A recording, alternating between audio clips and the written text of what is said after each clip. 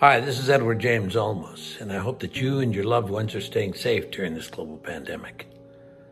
There's a lot we don't know about the deadly new coronavirus, including the details, how it spreads, and what countermeasures will work best against it.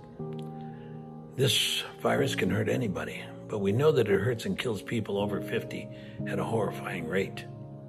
Our immune systems unfortunately decay with age, which makes us more vulnerable to many infections like pneumonia as well as other diseases like cancer.